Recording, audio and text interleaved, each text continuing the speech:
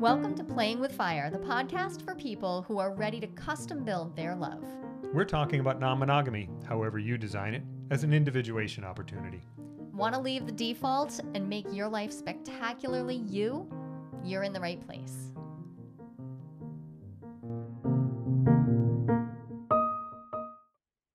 Hi. Hi. We're going to talk about desire. I like desire. I I'm like I'm prepped. I have I have notes. notes. I'm ready. I don't know about you. Well, I'm ready. I'm, I'm ready. I'm ready because I know that desire is not simple. I have one of my favorite books on desire. I For like example, here's one of the many books. when I think about desire and I think about all of my bookcase because of course the thing I desire more than anything is Is books. books. Yeah. I love sex, but have you seen a library? Come on. Um You've seen Beauty and the Beast so many times. uh I am Beauty and the Beast. Okay. I am living my biggest Beauty and the Beast fantasy. That's- I have a library, I have a beast. I'm good. I'm set. Um and I'm not waiting for you to turn into something else, by the way. I don't know what that was all about. Right? Not my jam. I think, yeah, You're fine. Beast was fine. Yeah. Doing great. Yeah, yeah. Um no, well, but Belle, what do you want to Jack about? Jack Morin wrote this book called The Erotic Mind. Uh, goodness, a while ago, like in the 90s, let's say 95. And I feel like I feel like almost everybody should get a copy of this, maybe just handed to them. I mean, not everybody, because some people aren't interested in desire and sex and and eroticism, and that's fine. That's cool if that's you. But when it comes to actually just talking about what desire is.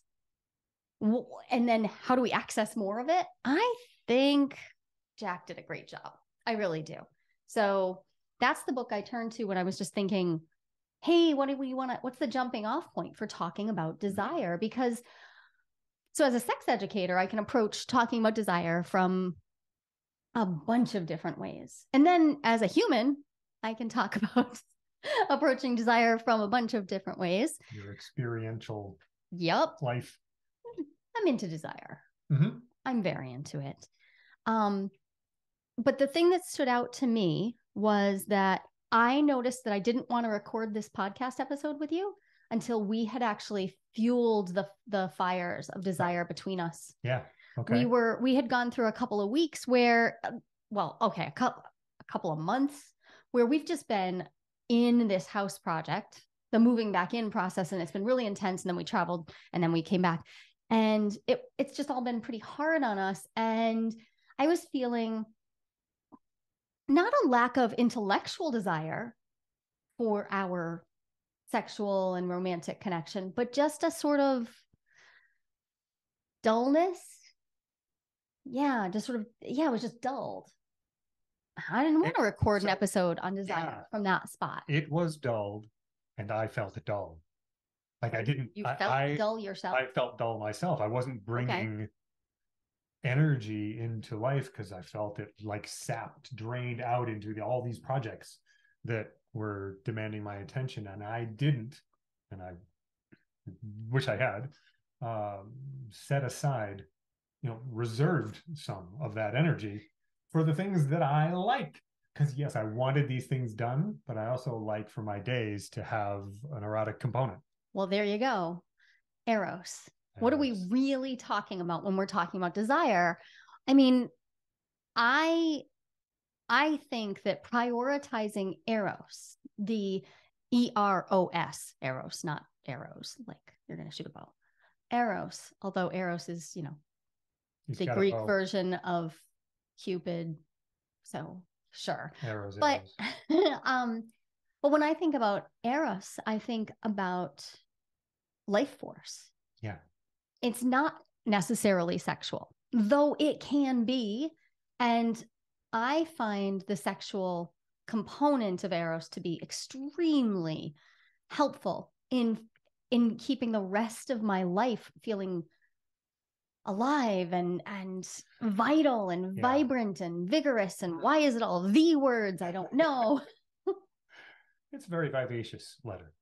There you go. Well, so when I think about desire and I think about talking about it from the intellect, I can turn to my books But when we talked about recording this episode, I wanted to record it from a really honest place Mhm. of desire for the person I was recording with. and it was pretty it was a pretty cool idea because what it did was make me remember that we can intentionally uh, reboot Yeah. the erotic system in our relationship. Mhm. And I think that goes to something that you wanted to talk about, which is the spontaneous versus Responsive. responsive desire. Sure. Because yep, if we could just if we just rode along waiting for the spontaneous desire and then like jumped on it and then recorded then, um, who knows how long we might have to wait. So, what do you? I, let's tell everybody just real quickly what spontaneous versus responsive desire. Why do we talk about it? And what is it, real quick? Well, um, my understanding of it is spontaneous desire is the desire that just in a moment something about the world strikes you in a way and boom you're you're there you you see somebody um And the zap. and the happens. zap happens um and responsive is some something happens or a, a set of things happen that um that result in desire um In other words, you got to start the car and then you're driving. like, but you, Yeah, but you don't. right you didn't fall down a hill you had to start the car and start intentionally driving towards something Yeah. So there's actual data on this. Um, and I can link to the data in the show notes. Um, I find the data to be interesting, but the the really the long and short of it, just to get really clear, is some people experience more spontaneous desire. It just like desire just boom, happens. Um, and some of us really only ever experience desire as part of a process of intentionally moving toward arousal and then experiencing arousal. and that's fine. There's not one's not better than the other. They're just different ways to experience arousal. Yeah. And They're- desire and arousal are very closely connected. So the reason I thought we should talk about that was that uh, it's easy to think that I don't desire when like that I, that my desire is really low when I don't experience spontaneous desire. Because the cultural Yeah, story is like the story it should just happen. It it, like it should just happen. And if it doesn't, something's wrong with you and you should take a pill or I don't know, fix it. But it's the the data tells us that's just not how everybody works. which just off the top of my head that sounds kind of funny. So i don't have spontaneous desire. So i should do something to make it wait that's responsive desire. Okay. okay but that, that aside. So yeah, the in cultural like story is an issue. Um you know i i had some these internal stories as a socialized boy person uh and i can't so i can't speak to a socialized uh non-boy person but uh that that that's how i was supposed to be Yeah. i was supposed to come up out of me yeah, literally in your Okay. case, like you're supposed to get an erection. It There's your literally desire. come up out of me and that's that's how i know when i have desire and if that's and, and this is the corollary that wasn't said but was obvious if i don't feel that i don't have desire whoops miss a lot of desire that way Right. We also don't get to appreciate the soft cock that way. And? just sad. soft cock week Yep. Michelle Renee, Michelle has been talking about this a whole bunch. I'll link to Soft Cock Week too, because um, it's right now, November 13th to 19th. It's about celebrating the soft cock. that's when we're recording right right in the middle of soft cock week Yeah. beginning even Awesome. Okay.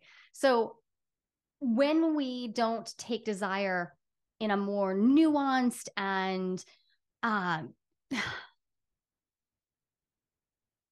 I don't know, like a depth oriented approach to desire. Like that's how I conceive of it. When we don't do that, we miss out on how wonderful it can be to intentionally uh, fuel desire, to intentionally lean toward desire, to create desire. Yeah. And so what happened was we had been in a bit of a lull, to say the least, yeah a lull. Um, and we've done a good job of actually keeping that up to, over the summer, no pun intended. though you did a great job. Oh, I- thanks. yeah, Thanks. whatever. That's not the measure. That's not the measure of the whole thing. But Still, thanks. over the summer, it was nice because we were doing our whole camping, glamping thing, and we were, There's a new context. There was And- an ed- there's some energy in that. and then the move in happened, and we just like hit a wall Yep. of exhaustion and everything else. Had And one good night and oof, yeah, and then the desire gap between us, I could feel it. It it wasn't that we were far apart; it's that there was this sort of stale nothingness. yeah. an uncomfortable reality and and i get this question a lot from non-monogamous um, people who are interested in non-monogamy but a little nervous or they're just trying it out um, uh, isn't that dangerous since you have other partners if you Oh. hit a stale Oh, spot isn't it dangerous and i will say that it sometimes does inspire me to put more attention into dating into mm-hmm. having whatever other relationships yeah sure it does. Is that dangerous? I don't find it to be dangerous personally. What i notice is that it's a reminder that every relationship is on its own time frame its own timeline right. has its own purposes, its own wants, desire. Like that's fine. And we shouldn't measure the relationships by each other. Because Yeah. we were in a bit of a dull spot and the there was no real problem there until there was. And the problem wasn't, oh, we're in a we're in a, a lull and there's less desire. The problem was now we want to talk about desire. Hmm. And we both felt like, uh oh. How are we going to do that? Oh. Well, So, we did. So we did. we intentionally eh, so rather than talk about desire though we intentionally moved toward it Mhm. we turned toward all the tools that we've gathered over 13 years together and remade the the erotic connection And it worked. It went from dull to not dull. Yay which is great and yay and high fives to us but also i noticed i started two new work projects um the outline for my latest book got completed like it, it like came into sight So the erotic energy that's up all over the place. that's why desire matters to Yes. me Yeah. Well, I was thinking about that, about how I had like I hadn't reserved any energy for I hadn't reserved any erotic energy. I was just down in the doing of all these projects. And but but erotic energy produces erotic energy. So Yeah. have have if I had saved space for the erotic energy I had, it would have fired up everything. right Instead, it all just sort of so you know, cooled down. Right. So the experience I had and you had separately that we later really were able to to to hone in on and see. Oh, there's the pro- there's the issue. We had both entered work mode. Yep. Yeah. We were working on the things that needed to get done, the physical tasks of moving into the house, the um the intensity of having um uh four-ish children in college all of a sudden and some of them were just starting for the first time so it's just yeah there was just Lot of stuff. intensity there was a lot going on and we were we were handling our business everything was being handled Mhm. and every night we were falling into bed next to each other just sort of grouchy Yep. and we were doing okay with soothing but it That was only boring. goes so far because yeah. and i wasn't feeling inspired anywhere else either i was just noticing slowly way too slowly i wish i'd noticed it sooner that i just wasn't feeling passionate really anywhere because that that work attitude that like get more done you're measured by your productivity get it all done it was like a blanket over the fire Yeah. passion Yep.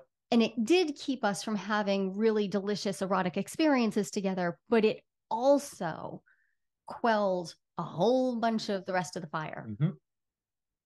that's not actually an effective strategy for me like for life Didn't it it did the opposite of getting me the kinds of things I like out of But my it's life. so why so 13 years you'd think we'd have figured this out so why do we fall into that that habit when all of a sudden everything felt like okay there's a lot to do okay, so we make our to do lists and we do all the things and we keep crossing off the to do lists and we keep doing more things and not doing each other.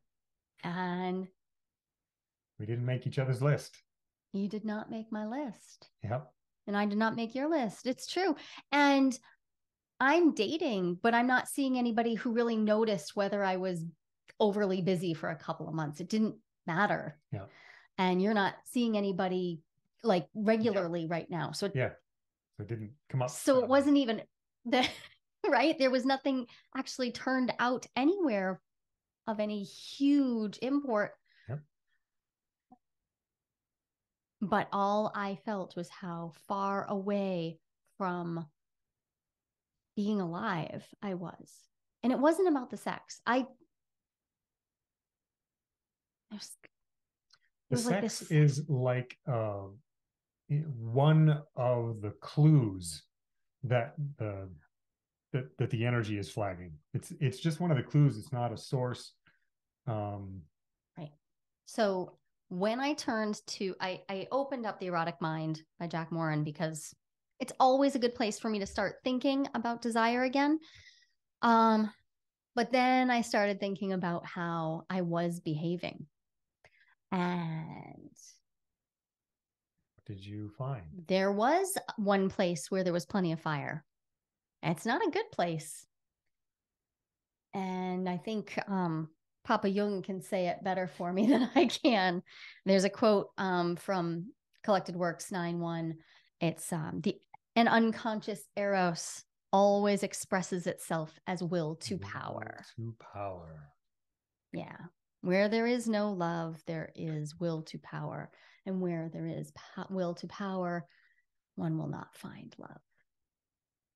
I was entering into this sort of maniacal state like i was eh, i was over controlling. I was i was like trying to micromanage getting everything done. I was grouchy and i was trying to control everything. Okay i i haven't heard you talk about this in this specific way yet. And i think about that that time my my experience my own reflection on me and that time. And the word that i would use most is manipulative because your power comes out different. my out power different. comes out different i don't just stand in your face and say do this now and now do this no i sneak around the edges and try to make it happen very low-key uh Oh, I wish it was Loki. That would be oh, yeah, actually a little. I think I yours yours is like it's it's because Loki. I feel like that has a there's a creativity, the manipulation that I witnessed from you, and this was hard because well, I called you on it. Yeah, it's very little boy. Oh, it is. Yeah, I don't enjoy it. Yeah, either because it is. It's very juvenile, it, which means it's also very ineffective. I mean, you're very very smart, but he, but it didn't. You didn't need to be for that not to be effective it wasn't effective and it may it it invokes my mother complex. And all of a sudden I'm in this I start feeling like I'm parental. That's not not sexy. I mean, I am a parent who enjoys sex. And those are that is just a complete sentence all by itself.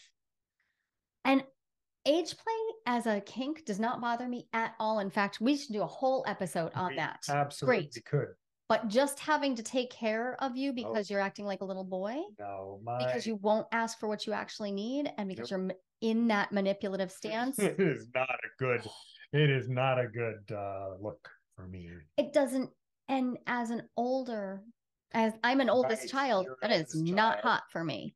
Okay. it just doesn't work for me. I'm not gonna sing for you. So so we uh, hadn't thought about that power. that uh, that reach for power yeah. that you're describing and but so there, totally what it was. So there we go.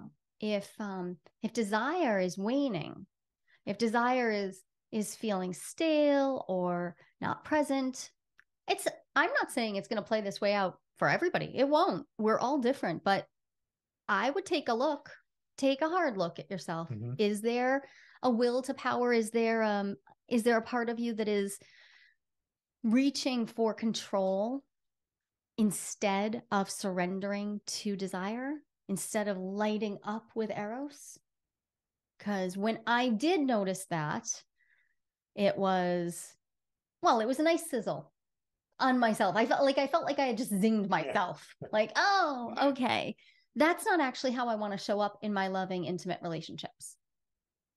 I like my powerful self. I really do, but I do not want to show up as a micromanager. I do not want to show up as, you know, a habitual um like overlord commanding how everybody behaves. It's not actually how I want to be. But it is what happens when I'm in a threat state and when I'm feeling separate from someone. Yeah. So so just looking at it, oh, okay. Well, luckily I'm a grown up and I can make a different decision. a complicated grown up who is able to self reflect and monitor your own and decide on your own actions. Yeah. But I really appreciate you naming how when desire was not up like very present, you notice your own manipulativeness. I know that I pointed it out at, at Yeah. one point, Yeah. but And I but you saw started it. really looking I like, looking. oh, it's happening everywhere. Yeah. Once once you pointed it out, is the glass broke and there it was everywhere. And now what I'm hearing is that that I could have used that as a um as a as a flag, as a thing to say, hey, your desire has slipped. Right. because it because it works the other way. Where there is power, there is not uh, where there's will to power, there is not love, love, desire, and Right. and that doesn't mean that my desire for you has like, um, you know, fizzled in some. It's not dead. It's not dead. It didn't disappear. It has no life force. Yeah, You're not did- breathing life into So it. that was that could have been my you to start injecting energy into my desire. right. um, which I mean, it's a very complicated time. But but now I know, and just for like from this conversation right now, now I know. Oh, if I'm starting to feel really manipulative, look for the places that I'm not expressing and energizing my own desire. Cool, thanks. That's Right. awesome. So here's here's something that stands out to me right now. Um what you just noticed is that you have your own red flag. We talk about red flags in relationships all the time. Oh, We rarely talk about the fact like do you know your own red flags? you've got a relationship with yourself. What are your red flags? Yeah. Yeah. And and actually that's interesting. Do you mind if I use you as an example Feel because free. we've talked about this a bunch this week. Yeah, feel free. Um when you stop moving towards sex, Mhm. I know pretty quickly, like, uh oh, things are not going well in Kenland, and therefore they will trickle out all over our life. and when you say, "Is everything okay?" What do I say? Sure. Yeah, everything's fine. Why? Yep. And when I start asking if if you want sex, when I'm direct about it, often you slip around the corners. You're like, you think of all these reasons why there's no time, there's no energy, there's no right because Yeah. you fall into your Yeah. own hole, Yep. which is that now, as soon as you slip away from desire, you notice that you don't think, well, you don't notice. You unconsciously act out the reality that you don't think you're worth Yep. desire. the shame comes in Yeah. and and then i have to get back back past that obstacle of my own shame and you know there's a lot more than just that in the way so where am i going to get the energy to do that where do i put my energy so that i can Right. You've used the the term injecting energy Mhm. today. And that makes me think about the um the different ways that there are because another term that could be used is infusing. Right. So like injecting would be sort of a bolus, like here's a whole bunch all at once. oh yeah That Yep. can work. That's that's a way. Um and so one of the ways that we have found it's really effective if you want to is to take an overnight at a hotel, bring whatever your pleasure toys are, whatever your kink is, like bring your stuff, pack the bag, go. That's an injection for me. I'm like, okay, see we're just going in because we know we've only got, you know, 25 hours. it's a batch operation it happens and then it's over and Yeah. yeah But an infusion, I that's a whole other thing. cool i like this I could say decoction, but that sounds bad. No, Deconnection. anyways. anyway um in an infusion an infusion is slower you're going to allow them you're not going to push new material in faster than the tissues can absorb it Like the whole point is to dose that just right so the tissues can become hydrated and really fully accept. And it's not so targeted. It's like a more more diffuse, widespread. Yep. Uh, it's a more systemic application. Yep. So neither of these is right or wrong, but the, what's coming to mind is um, actually what we just did. We knew we wanted to record this episode, and I said, I don't want to record it from a place where I'm feeling like an educator rather than a person alive with desire. I just, I just don't want to. I've had to do that before. Sometimes I'm scheduled to teach a class, and it's just time. But this podcast is different. I want it to be about about the, the personhood. Us, the, like mm-hmm. I'm a real person making mistakes and living my life and falling out of desire as Imagine much as into. How boring this podcast would be if we didn't make mistakes. Oh well, that's true. so instead, we knew that we needed to record it sometime in the next two weeks, and we had to travel in that time. So there was like there was a little confusion, but we just started being mindful of like, oh, well, there's this there's this this podcast out there how do we move into desire again? How do we infuse eros back into our us in the space between us without demanding it take a specific form? Yeah. It's been a little over two weeks now. The first week was a lot of um, tumult. Yep because as soon as we started moving toward each other, we fought a whole bunch. Mm-hmm. A whole bunch. A lot. and a the lot. thing is, it it wasn't it, we weren't even necessarily fighting with each other. I I noticed that I was just I was like fighting something internally. Totally. Yeah. And I we was... we were both applying our tools. I we never actually really got into a fight until one night, but even that was no, but it was, was just bloody uncomfortable. And uncomfortable. now that I think about it, um, the anger that I felt in those fights was almost always pointed at me.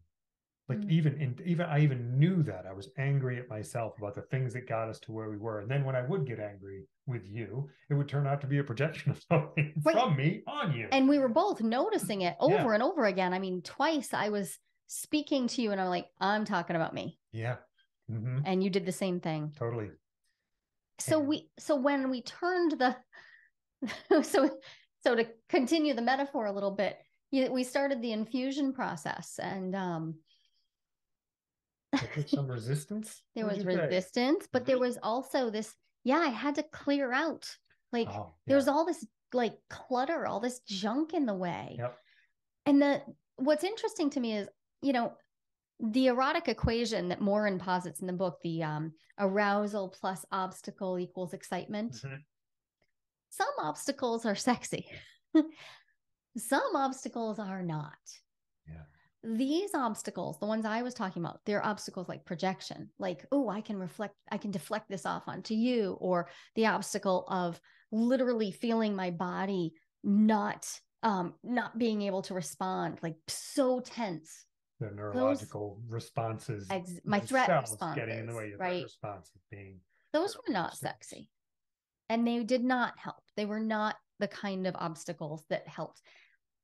But that said, um, as we pushed through that first week, um, just living our lives, we got to a spot where, oh, uh, yeah, there was a lot of neurological level, like embodied somatic threat response. I was freaking out. I was having some some panicky moments and just feeling really uncomfortable in my body. And as you moved to help me, you experienced some blocks too. Like we were both yeah. blocked mm-hmm. from the very tools we know work. Yeah. And we would so often we would have conversations in in a clearer mind post uh, some some conflict. And i would so often be like i had those thoughts and i didn't act on them over and over again. And the reason i'm like really just just outlining how this went is a lot of people um talk to me and imagine i've had a lot of people reflect to me that they imagine that my relationships are easy or at least this relationship is easy and just we just know how it works now. Hmm. And my experience is that it is an ongoing mystery Yeah. Well, how um so I have had moments where I think I might have figured out some part of you. And then you grow. and then, Now that now that what I figured out is no longer accurate enough to work with. And I have to figure it out again. and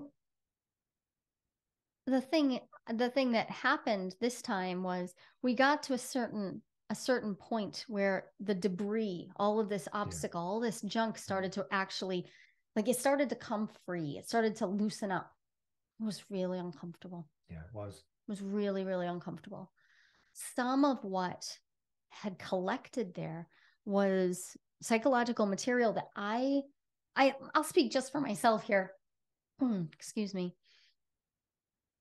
It was big stuff i'm moving through as we move back into a house that we've remade. And i've been working through reintegrating some child parts that were long ago exiled who don't believe that they deserve a safe healthy happy home. And those parts were clinging. They were clinging on to anger and fighting and distance and not getting along and not being desired. Part of their selves is no one wants them. Of course i was struggling to find my desire. And as that started to loosen up it was really uncomfortable and i desperately wanted you to save me from it. You can't save me from my own psychological work. You can be present to it though and that's what you were doing that was impressive to me and then i think led us to the spot where we are right now that that lesson, that that skill, if I even call it that yet, is long coming. Like I've been working on that for more than a decade. The ability to just be with you while you experience these things. right It's not easy for for me. I'm a fixer. So in every in every relationship um imagining imagining each relationship no matter how many partners you have imagining the the, the dyad of every relationship. So you could have you know 12 partners but in between every two points there's a relationship. In every one of those dyads there's going to be this relativity. The um the relativity of relationships cracks me up because it means that even though I have all these tools and I have all these degrees and all this relational awareness, and I write about it all the time and I speak about it all the time and I coach on it all the time, I am still a more highly reactive partner in our relationship.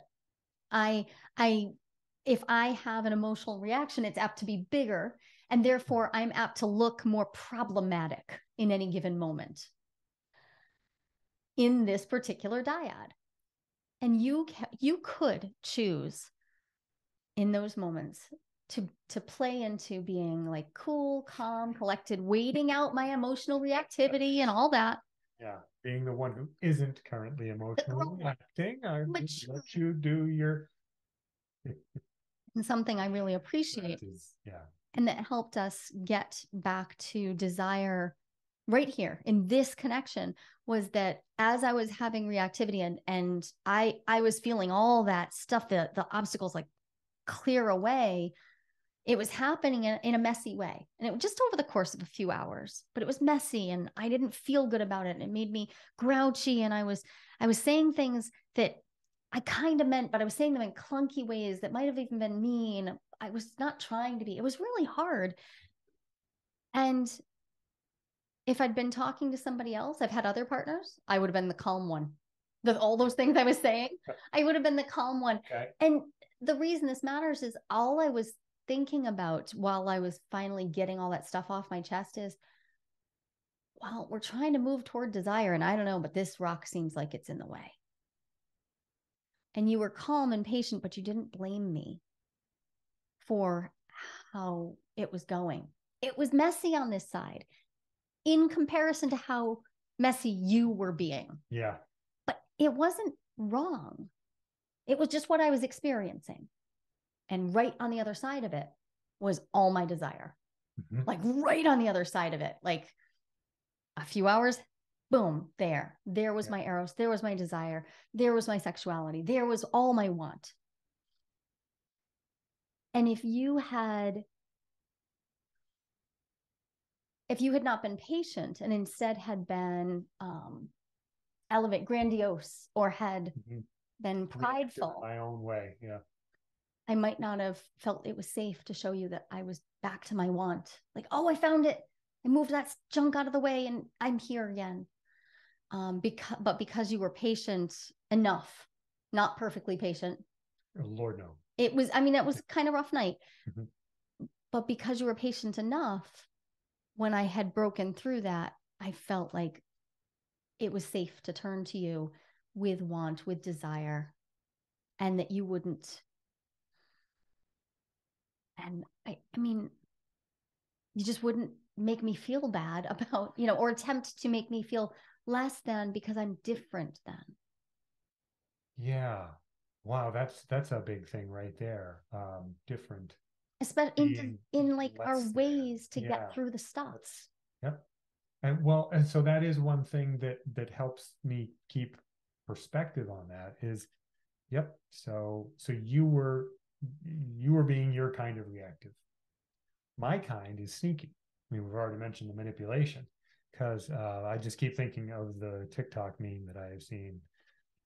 Because i am not getting the attention that i desire I have decided I am going to cause problems on purpose. Oh, that's me, but I do it quiet. It is. So you're while, very crafty. Maybe you are Loki. so while you're having Hermes, I think we there we go. Hermes. Uh, what what that cattle? That cattle was always there. I don't sure. know what you're talking about. Um, yeah. So while you were having your experience of our fight, yeah, um, I was aware of my desire to continue be connected to you. Yep. And I knew that if I engaged directly in the fight that it would be to respond to what you were actually laying down to those the yeah. words, the clunky words that might not have come out the way you wanted to, if I took them literally and responded to them literally, it would have nothing to do with our connection. Oh. Well, that's true. Yeah, right. And and was, something I've learned over time. I was being childish. Because you were being childish and I didn't think of it that way. Um, but it is what it, it's what it felt like inside. Felt and, like I was eight years old. And when I react childishly to your childishness is when things go off the rails for us most. Yeah, but interestingly, if you react paternally, that often also goes off the mm-hmm. rails, right? Because it's, there's a very fine line of being patient and witnessing witnessing your your partner decompensating a little bit versus joining in in your own reactivity. And yeah. i wish that we had gone through that period a little faster but i'm always going to wish that. Right. No matter how really uncomfortable it is, I, nice to be if could be nice if it was shorter. Right. Yeah. So the neat thing is we used a few we used a few tools that worked really well. Yep. And my favorite part is that the tools we used were sort of a they were graduated risk dosing. And oh, we did that without talking about it or thinking about it. Say more about that. That's Well, first we were fighting. Well, I was fighting and you were witnessing and then we were fighting and then we moved into a spot where I was just Yeah, I'm slower than you, so it's your the, the first path is first. something like you fight, I'm confused. and then and then it develops. But then we got to a spot where I was just feeling completely psychologically unsafe. I didn't feel emotionally safe. I didn't feel held. Um, you weren't doing anything. Nothing was wrong. I this was all an internal experience. And it was all I lit the fire. Like I lit this fuse. I was trying to get back to desire and this was the path. Yeah, that's which, really which kind of sucked. Interesting vision. Yeah. So you lit the fuse on purpose because this stuff needed to be blown up and burned and moved and all this debris needed to get out of the way. So yeah. you did it. But brave. I was so uncomfortable and then I couldn't access my tools. Yeah. I got actually into a spot where yeah, it's all well and good to like work in the mental health professions or the helping professions or just to be like a socially and psychologically competent person.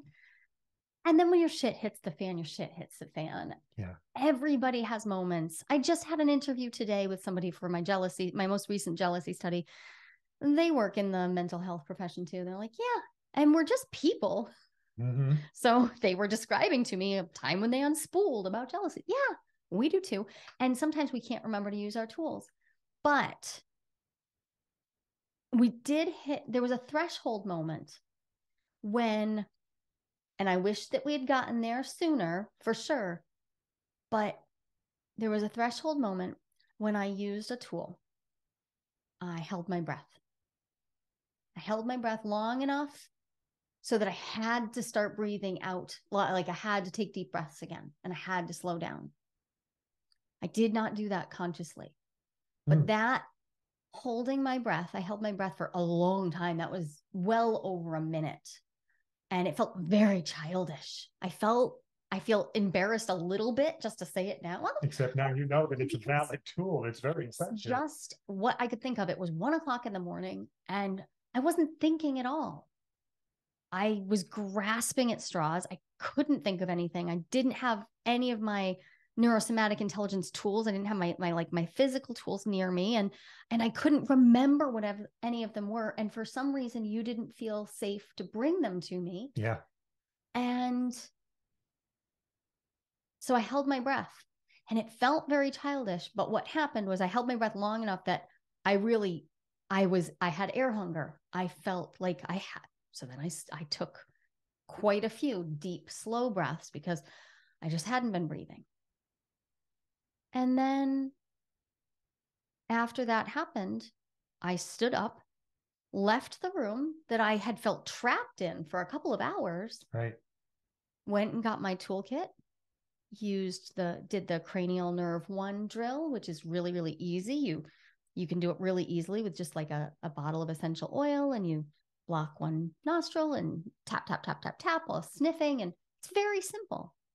Did that drill, I did some, a couple more rounds of air hunger, bag breathing. Then I used a straw and I, and I did the hypoglossal nerve reset. It took maybe five minutes.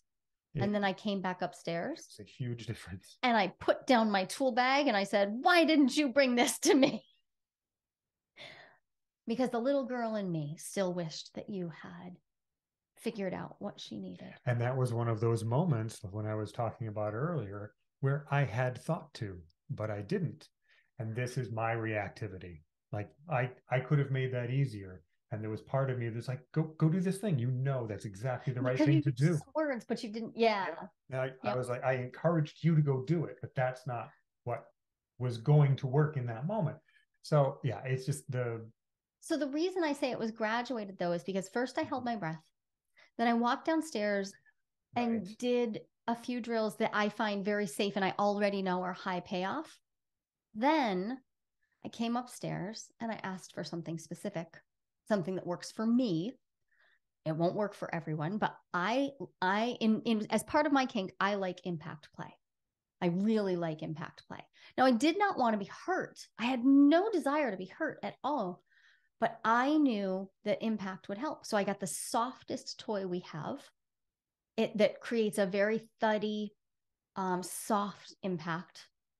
And I asked you to use it on me.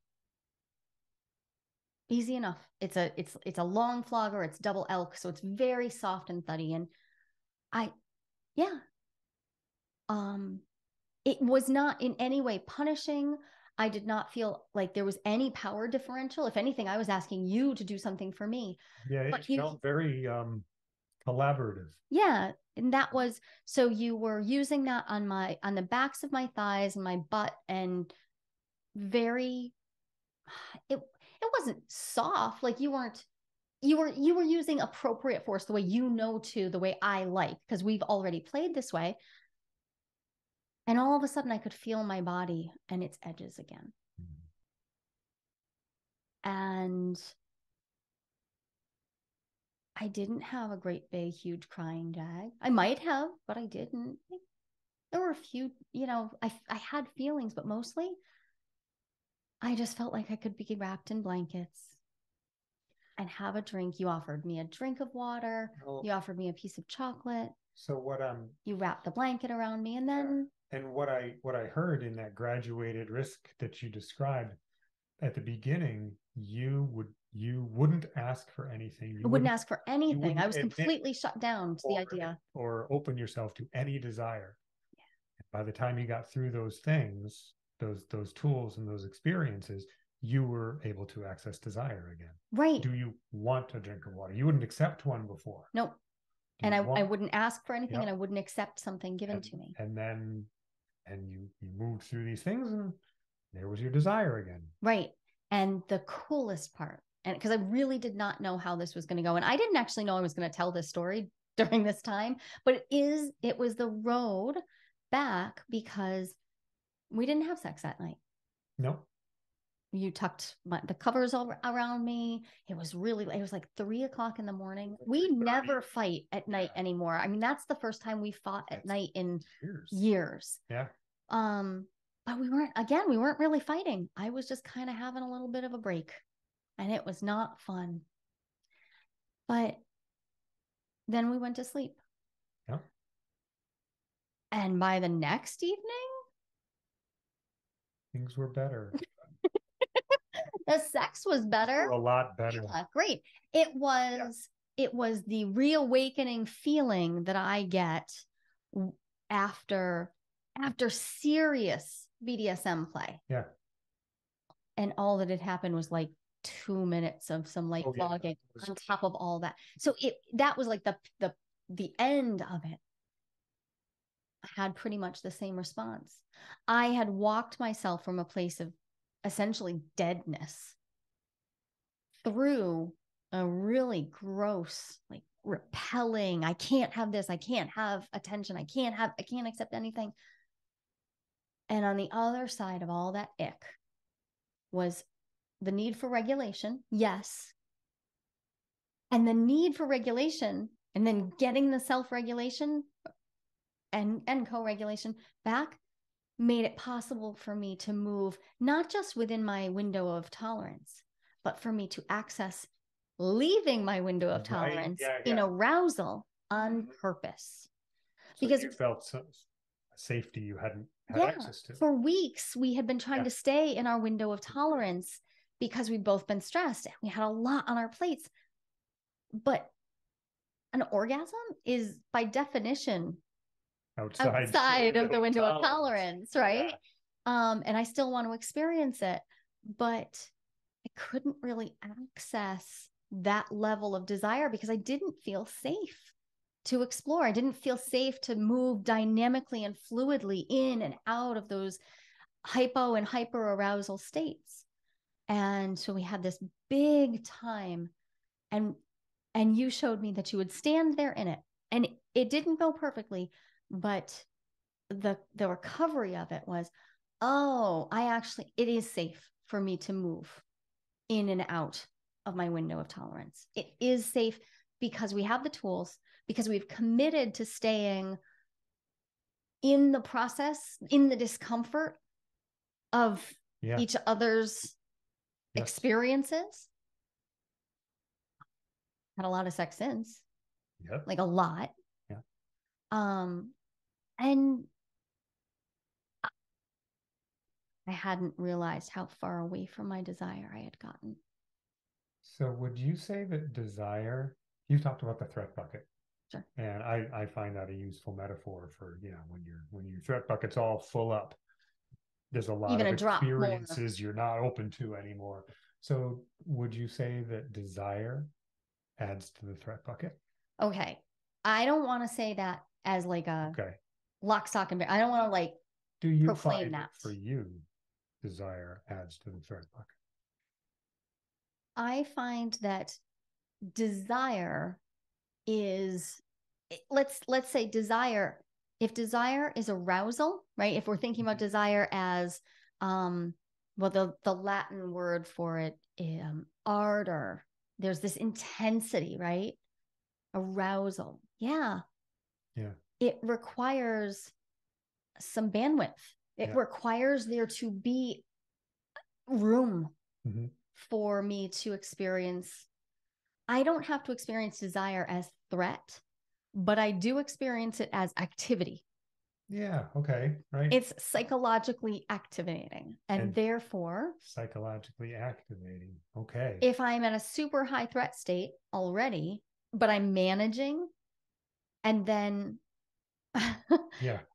yeah, it's then not. A, it's not a single dimensional bucket. There's a lot going Yeah. on there. Yeah. So, so another way that this has played out for us, and it, it's played out for each of us, it's played out in a bunch of my other relationships, is um yeah, uh life is stressful Yep. and we're all like almost everybody I've I've been with has like also been raising kids and like life is stressful. And then you try to add a yummy sexual relationship to it, one that doesn't just have endless time of living together in the same house and ah, uh It's yeah. a challenge. it definitely adds to the overall load Mhm. of life. So I think this is just a complicated way of saying desire, like fueling desire, isn't necessarily going to feel good all the time Right. because there might Yeah. be obstacles in the way. There might be work to do. There might also be an opportunity for this. Like that was, I feel like the big win there wasn't the sex on the other side. The big win was, I think I've been more vulnerable with you over the last 48 hours than I have for the four years before. Which that's. mm, And that's saying a lot because it's not like I hold back a ton, but but a lot. a whole bunch of things that I boundaries I've been allowing to be crossed, Mhm. ways I've been people pleasing, things that I did not realize I was accepting in my in my sexual life especially. Right. Yeah, stuff that I've been essentially just putting up with or for the whole time. Yeah, that was a high intensity growth experience. As, I didn't even realize that I was Yep. doing that. And then Yeah. But then here, I sh- I've shared with you. I can think of three or four things right off the top of my head in the last couple days that all of a sudden I'm like, oh, oh, it's, oh, I need to tell you this. Yeah. Because I I can't believe this, but I've never said it before. We now have a mad Pomeranian calling to us. We have a very desirous Pomeranian out in the hallway. He loves us. He doesn't so understand much. why we haven't gone to bed. Yeah. Okay. I think we've said everything we can about desire in this way. I, I did would- not expect this to be an NSI issue. like Yeah. so NSI, right. neurosomatic intelligence. If you haven't listened to our earlier episode on neurosomatic intelligence, this episode will make more sense if you go back a couple of episodes and listen to the one on neurosomatic intelligence for better relationships because um, Ken and I have been finding this particular way of doing somatic work is just a phenomenally efficient way to move That's a good word into So regulation Mhm. to just learn how to self-regulate learn how to incorporate co- co-regulation. And i'm doing some experiments right now to see how to actually incorporate neurosomatic intelligence directly into sex itself acts of sex and having some really phenomenal results um, with this so i'm going to keep talking about it because i think that this is i think this is groundbreaking and it's so simple it's simple simple stuff It's so such a great thing to have in the toolkit. yeah. So I I think we should uh close out by just saying that there's a lot more to say about desire. There is, and I would love to hear what people might have to say themselves about desire or any questions that they have about their experiences. If this episode brought up questions, definitely email Ken, Ken. At jolihamilton.com Mhm. because he's fielding questions so that we can build them into the next episodes. And the questions we've been getting are really, really helpful. Um, the whole point of this podcast is to be in conversation with you. And I think we should do a follow up episode because um, Jack Morin posited, I think, just the the simplest set of the four co- cornerstones, like what what sort of erotic themes there are for people. So let's do a follow up on erotic themes Great. because the four major erotic themes that he outlined I mean, uh, looking at the list, I'm like, I spot you and I Yeah, spot me, yeah, and I- we do not have the same core erotic Nope, theme. We We have a great overlap. Mm. And when you know what your core erotic theme is, it is much easier to create juicy, yummy sexual interactions, Yeah. erotic interactions. Okay. This was really fun for me. And thank too. you. And Thank you. thanks for bearing with me. That was a long night and that was a long few months. And Yes, I really, really thanks for appreciate. your- thanks for hanging on and then being so vulnerable, brave. Yeah. Thank you. I got the interview sweats this time. so thank you everybody for listening. If you're enjoying playing with fire, would you please hop on over to iTunes and drop us a few stars, um, leave a rating, please, please, please. It really does help. I know everybody says that. It really does help. And honestly, my favorite thing is like just send an episode that you think Oh yeah. would please. resonate with someone, send it to a friend because uh, when you send those sorts of things, I mean, that's a love language in itself. Mhm. Send it along. Okay. It was great to talk with you. Thank you so much you. for being here.